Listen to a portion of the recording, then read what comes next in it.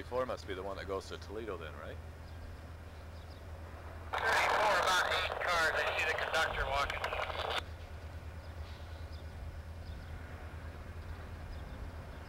They wouldn't, uh, send a line train to Flint. 572 to Plaster, over. Got a GE? 572